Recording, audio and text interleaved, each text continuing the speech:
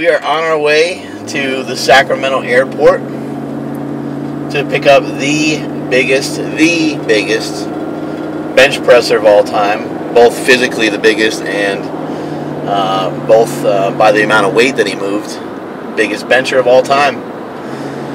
The Vanilla Gorilla, the 325 pound Eric Spoto. Uh, we're going to scoop that guy up. Um, hopefully, I don't hurt my back doing so.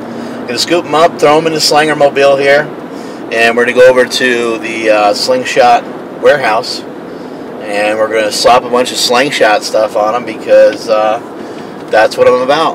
So we're going to do that. We're going to stop at the warehouse, and then we're going to get in a bench workout. Hopefully, he can help out Silent Mike with his puny bench press. Stay tuned.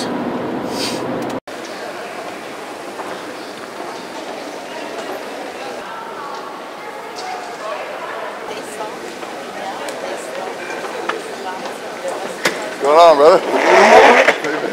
You have your bench press ready for you, sir. Right. How you doing, man? To rock? How you like that? I like it. Just Spell your name right? Vanilla Gorilla? Oh, this first up. So you were you were just talking about like the first time you came in uh, super training, and I, like that was uh, I remember like that was fucking cool. Like you, uh, I never met you before. I didn't really know who you were. I think maybe you might have emailed one of us. Might have emailed me. Yeah.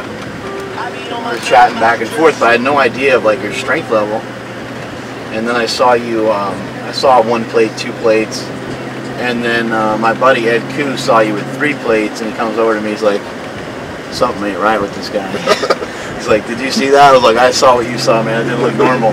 That's where like, "What do you bench?" You know, and you're like, "Oh, well, I don't know. We'll find out. We'll see." You know. Because you're always super humble about it. And then you put up that uh, 635 for a double, and we were just like, who I had only done a 620 for a double we were up like, until then. we were like, who in the fuck is this guy? But the way that you were moving the weights was like nothing we ever seen before. And What's up? what's going on, man? How you doing today? Pretty good. Doing good. Yeah. How you doing? How you doing? Casey. Nice to meet you. 132 pound lifter, our smallest guy on the team. Oh. Yeah. Where do we have size 14 cuffs? Anybody know? Yeah, buddy.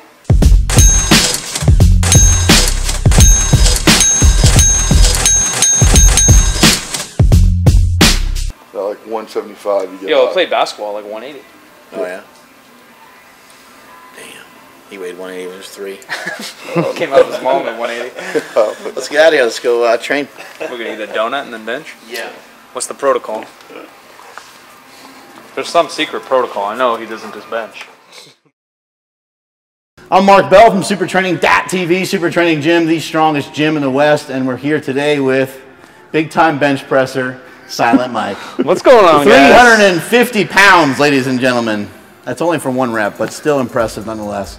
And But someone does if 100 wanna- times more. Yeah, if you want to multiply that times two and add a little change to it, then you have the biggest bench presser of all time, Eric Spoto, who successfully put up a 722 pound bench press. Uh, Eric's going to take us through a warm up today, and uh, also uh, I'm going to try to have some discipline and listen to everything that he says about bench pressing today, uh, just because I want to feel uh, the way that he bench presses. He has a much different style than the way I bench press. I tend to lift up my head and kind of do a little bit of a throwing type movement. But just for the sake of me feeling it out and me uh, learning more as a coach, being able to uh, give more great information out to people, I'm just going to 100% do whatever he says to do for today. Uh, we also got uh, Marcus lifting with us today, so we'll uh, push the envelope with the big guy here. Show us how to warm up. All right, let's do this. Start with some bands. Start with some bands. Why does he get the skinniest band? I get the thickest. He's just gonna slap it like They a rubber band. I'm gonna tear something. So like when you first come into the gym, shoulders are stiff. They're not really moving the way you want. Right. Go through a few of these things. They're moving a little bit Get better. a little blood in there without trying to. I Want to get as much blood in there without getting weaker on the bench. Yeah. So this- this Conserve some perfect. energy. You just do this five, ten minutes, not really counting sets or reps. Yeah, not even. I'll do a couple sets, and then maybe after like uh, first two or three warm-up benches, I'll jump back on this, and then I'm, it's a wrap. Talking about supersets. Sounds like uh, CrossFit. Yeah, what me. the hell?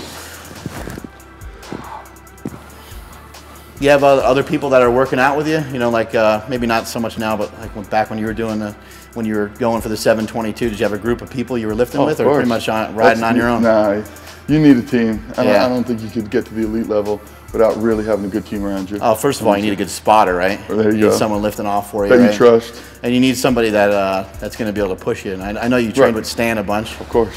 I mean, that had to be pivotal and Huge. the 722 bench, mean, right? Having someone there that you know is going to go all out every day with you, and if you do a half-ass workout, they're going to be on you. You're going to be on them if you do. Uh, they do a half-ass workout. Yeah, because you know he set world records himself, so he knows. of course. He's going to say, "Hey, man, that ain't going to," you know, Right. even though you're still blowing everybody away, you might do 675 for two. He knows you're capable of more. right. He's going to be like, "Well, what was that workout about?" All right, pretty loose. Feeling good. We talked a little bit about uh, eating, and we were joking about getting a big meal in or something. But you like to uh, lift maybe uh, just a small meal before Yeah, you lift. Yeah, definitely not like a big meal pre-workout. Yeah, I think you're wasting too much time digesting it, too much energy. yeah. Too what about uh, going to your stomach. caffeine or anything? Yeah, normal Yeah, caffeine. just some caffeine to get after it. That's it. You don't need too much. It's like playing a fucking guitar. Bow, bow. This I just started What doing. do you know pl- about playing guitar? Nothing. But I, uh, this is how I envision it. And some of these bad boys. I think I picked this up from Westside a while back. Westside. Notice You he's got like a about them? fucking 25 do these? pounder. Got a call two and a them? half. And it's funny, if you do stuff prehab, Right. you're probably less likely to have to do stuff rehab. Yeah, It's makes, so simple. that makes a lot of sense, doesn't it? you know, but you take stuff for granted, you Yeah. think you're fine. Hey, you feel You good. think, You hop on. you think you're a badass, right? Yeah. Get a Wow. good workout in. Well, if the strongest bencher ever can tear something, then that means Right. we're all we're, we can Hey. all do it, right?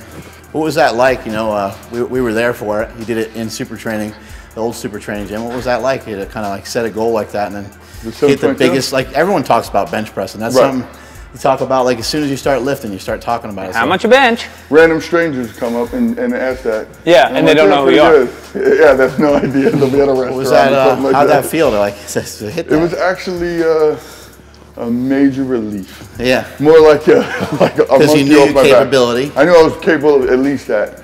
So when I bombed on the 716, which I really think was a 100% my fault, like just a combination of choking, bad stuff, just Yeah. I was my training numbers were stronger leading up to that meet than to the 716. Yeah, and I've meet. never seen anything like that I before. I, was remember so that. strong. That 675 in the warm up came up. Oh. It felt like there was. And 1,000 pounds. 675 for three in training, right? Yeah, That was fucking intense. yeah, I was, I was really strong there. I think uh, I overdid How it. did that feel?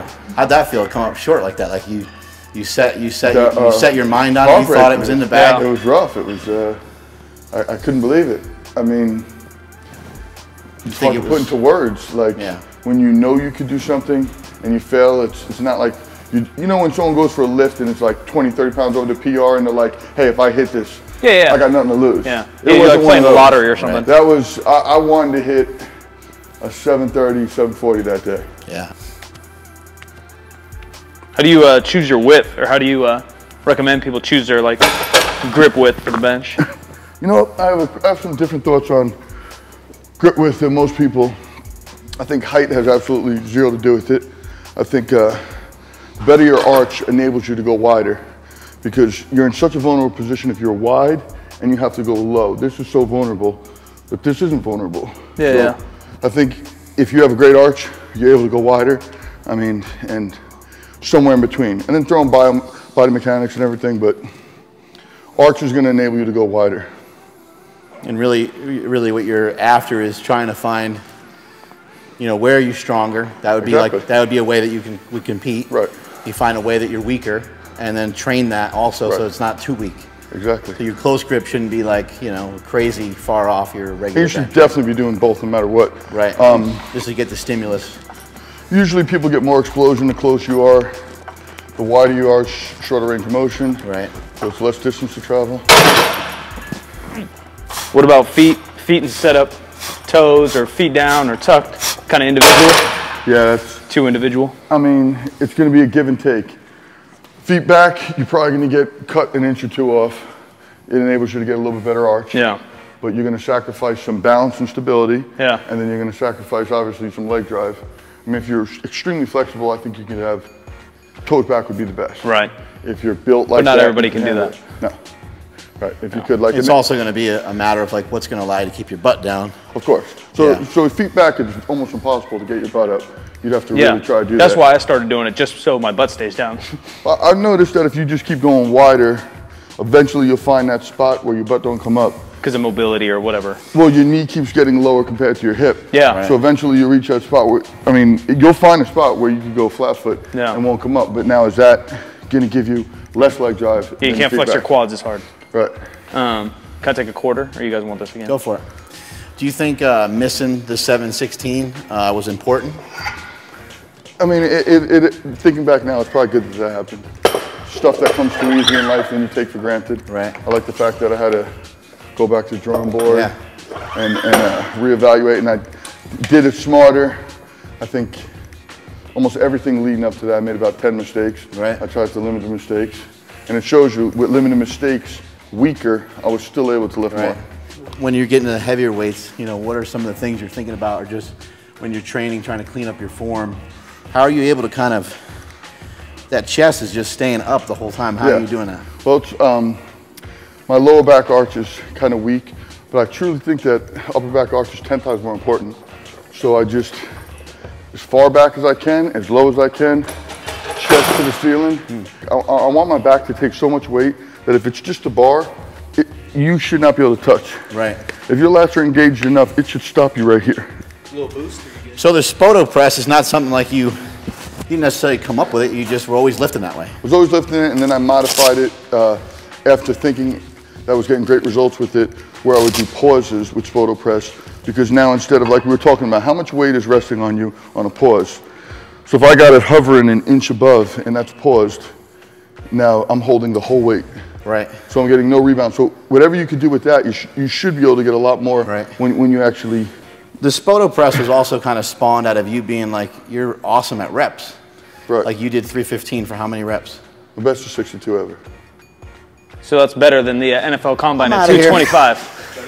Yeah. Yeah, 315 for 62. But it's it's it's the Spoto. And it's three quarter reps. yeah, yeah. What's whatever. the uh, what's the You're NFL record? 52. Yeah. At the at the Bros for But kinda Pros, I got 45 locked out. You, you, he had someone there, and he told me Very all my reps had to get locked out. So that's um like again, it's kind of born out of necessity, out of like what you love to do, because you, you didn't just you, you didn't just happen to be good at uh, high reps. You worked Right. on them all the time. Exactly. I gotcha. And then, um, Big reps, big pecs. Yeah, those pecs, well, you, well, you don't want to. pec popping. You're not going to lock out 20 reps. You, you, the, the wear and tear on your elbow is just going to.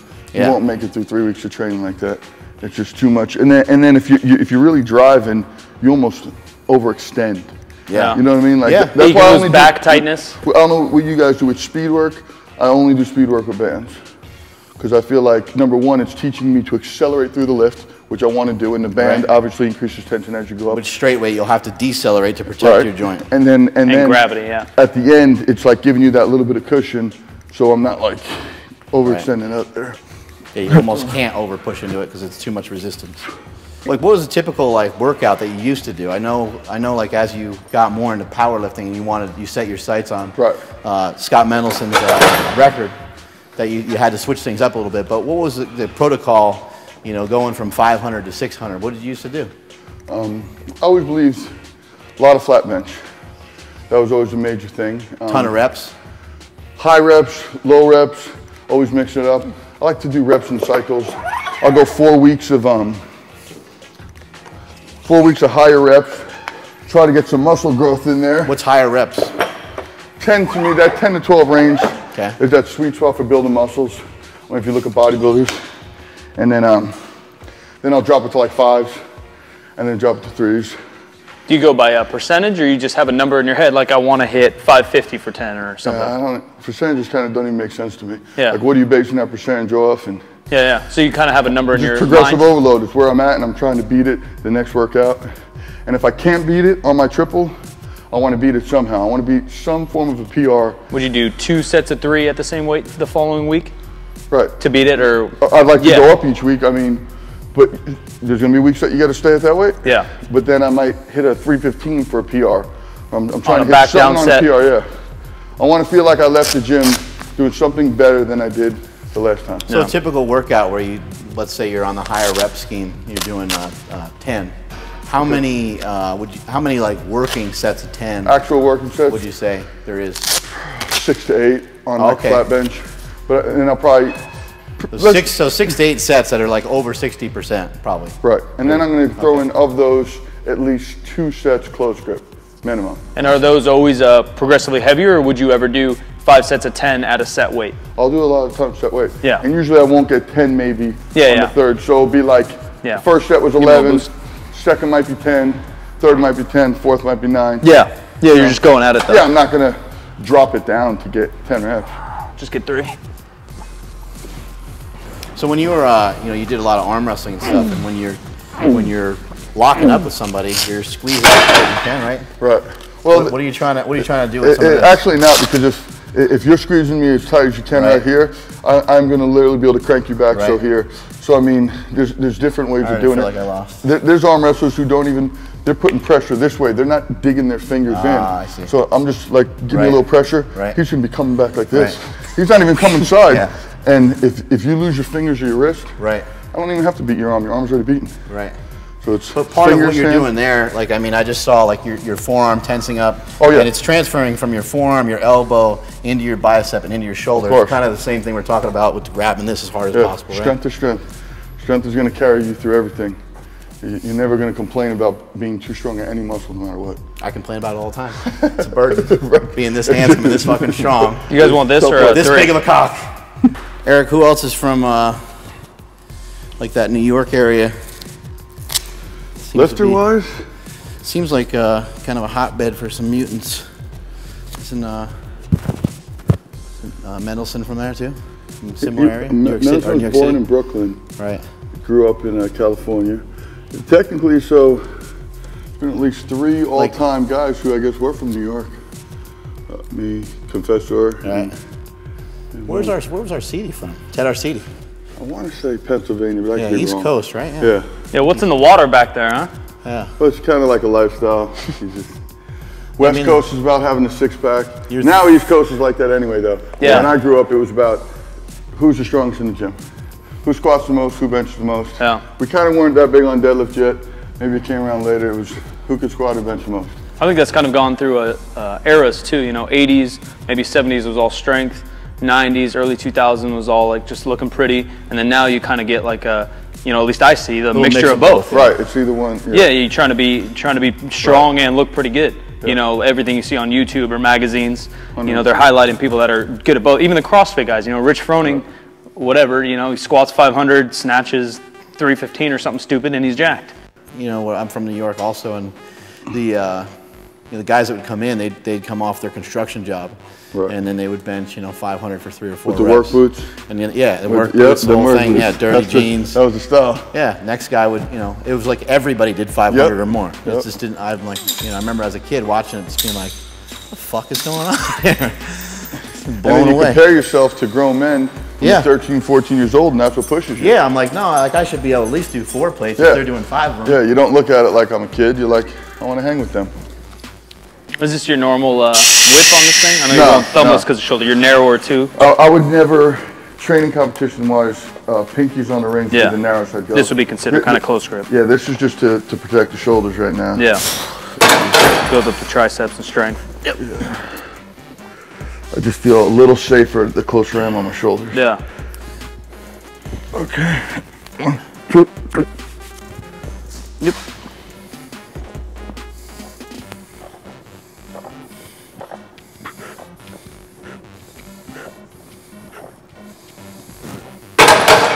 You benched uh, 722, best bench press all time. Um, then you had shoulder surgery, yeah? Right. What's the best you've, uh, like, what's your workout, uh, best workouts since then? Um, 405, that's it. For how many reps? 10 reps. 10 reps for 405 is kind of where you're at now. I think you sent us a video and it looked easy, but obviously you're yeah. trying to rehab. It's just, it just it, it gets real tight. Yeah, uh, that's the, the, main problem. How how light did it feel in your hand? Still pretty light. It, it felt really light. Yeah, but you, obviously you got to be precautious. Right. You want to be the best again. The rotator cuff just I think just really starts swelling up. It's just not used to it yet. Yeah, it's gonna take probably a couple more months. And of start pushing it. Weight. Yeah. You're gonna try to stay around 405 for now. Yeah, just get some blood in it yeah. and see how it feels. Sweet. Come on, Smelly. There you go, chest up. Yep.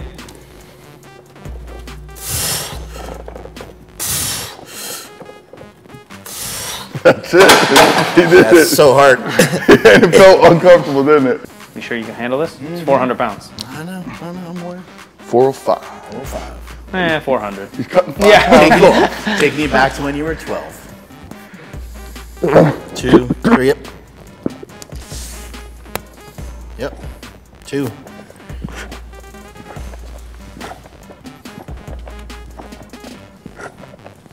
There's 10. Nice work.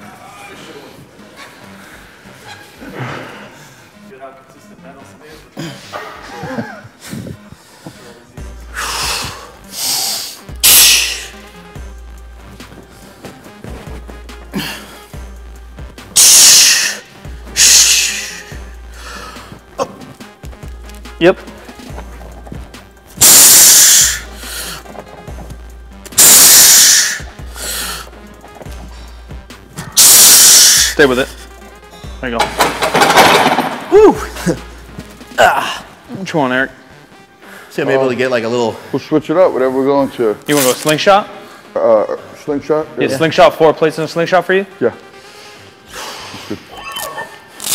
You um, mentioned, Eric, sometimes you'll uh, add a slingshot and add a little bit of weight, keep the Yep. same rep range. Say we're doing triples, so I'll add weight, keep going triples, or sometimes Exactly. you'll, sometimes you'll keep the same weight, then add go for slingshot, like- double the reps. Yeah, We also don't usually add a lot of weight. Like a lot of times we'll just add like 20, 30 pounds. Like, Right. It's not like. But it's an trying to- overload. Yeah, a little bit Right. more. It's an overload. It it feels good. Yeah. Protects your shoulders. What slingshot do you use most? I use them all. All right. Um, so even though you bench 700 pounds, you use the blue one here I've, and there. I've used every one.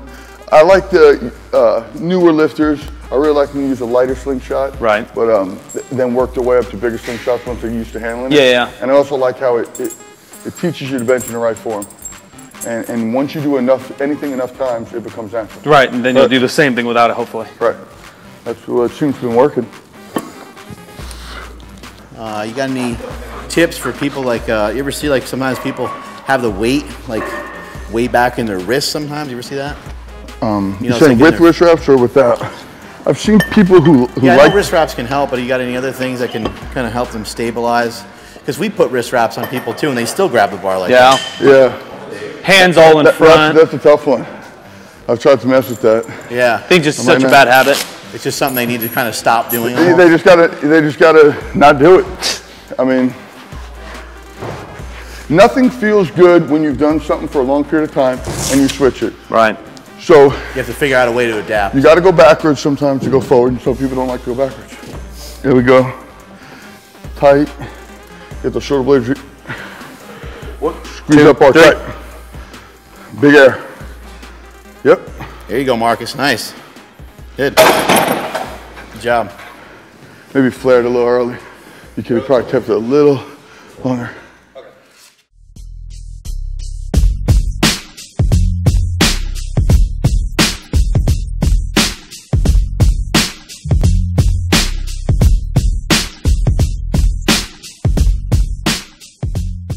So we just uh, hit up some slingshots. Now we're going into kind of secondary accessory work, yeah? Right. Work on some rotators, get a little pump. Yep. This thing will shake you around a little bit, obviously. Uh, the bar is not metal, it's bamboo or some weird plastic. see the bend in it already Yeah. Um, how's your setup? Do you try to bench the exact same as your normal bench? Same bench. Everything the same. Same thing. Higher reps, 10s to 20s? Yeah, I keep a little bit higher range on this. You're not gonna be doing triples with a bamboo bar.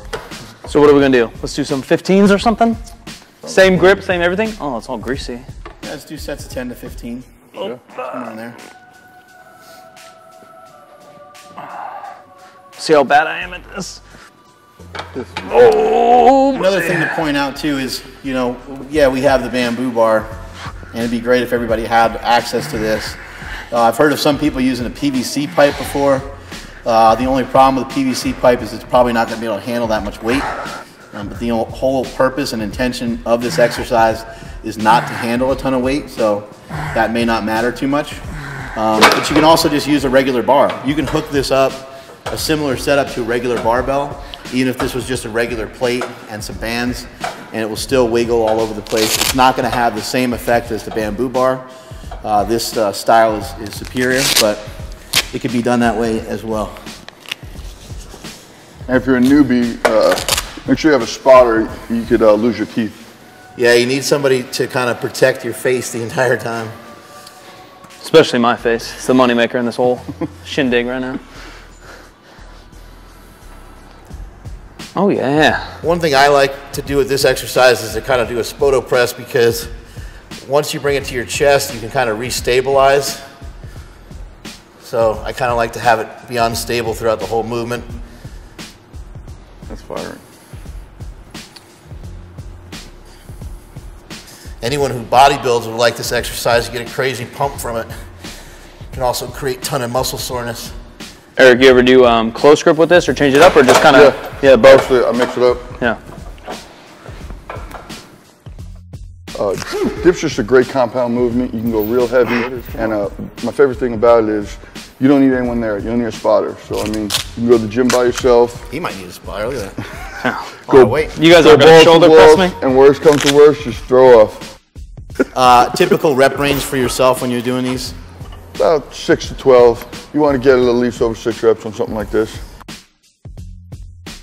Kipping. He kind of crossfitted it there, and then nearly died. Uh, Eric, what are we uh, what are we trying to accomplish here? I like to just leave the gym with my arm feeling like ripping through the skin. That's Nice to pick up pump. ladies at the grocery store Yeah, or? that's basically what it is. That's it. Video over. Get a pump, go to the grocery store, get yourself a date. You like to get a pump. Uh, you think it kind of helps with hypertrophy. Kind of helps with uh, you know keeping your muscles and joints healthy too. Or you're just doing it just purely to be jacked. Probably purely to be jacked. I like that. I like that theory. You said you push all your accessories uh, heavy, right? So we're, even though we're doing sets of 15 to 20, you're still going almost Oh, max going 15 or 20. And then probably um, five, probably five or so reps. There'll be a little bit of momentum. Yeah. There'll be some clean ones, but there'll be some garbage. Yeah, but who cares? And this is uh, kind of fast paced too. Like you just Yeah, way rip, quicker rip than- it through three or four sets fairly fast. Yeah, just ripping through 130 pounds with one arm. Just walk in the park. Try that. Me? I just did 60 and almost died. I'll try it at the end. Hurt so bad.